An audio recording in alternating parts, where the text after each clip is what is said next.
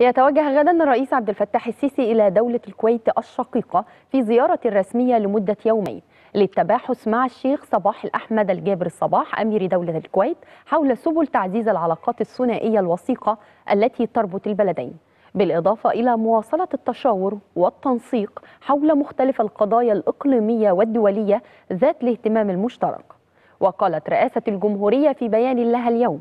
إن زيارة الرئيس إلى دولة الكويت الشقيقة تأتي في إطار علاقات الإخوة المتميزة التي تجمع بين البلدين وبما يساهم في دفع أفق التعاون بينهما في مختلف المجالات وتأكيدا لحرص الجانبين على استمرار التنسيق المشترك بشأن سبل التعامل مع التحديات التي تواجه الأمة العربية بهدف تعزيز وحماية الأمن القومي العربي.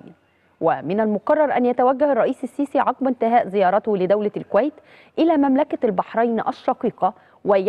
ويعقد جلسة مباحثات مع الملك حمد بن عيسى الخليفة. وذلك في إطار التشاور المستمر بين البلدين بشأن تطوير العلاقات الثنائية المتميزة على كافة الأصعدة.